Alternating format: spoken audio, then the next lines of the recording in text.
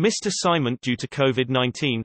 I was flying from Canada back home, after all the in-person classes and tests were cancelled. So my country, Kazakhstan, has strict laws that were enforced in regard of the new pandemic. They include closing a passenger of an international flight coming into Kazakhstan in a quarantine hospital. In my case there was only one city that had a working airport in the country, my only resort was going there and later traveling to my city.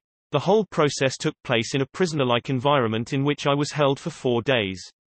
By my release from the first city, I was already late on one of my assignments, and by the time I actually got home in my city, but without luggage and got back to relatively normal state, I was late on the second one.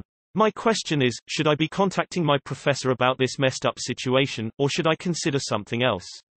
I'm asking this because the missed assignments could make me fail the course.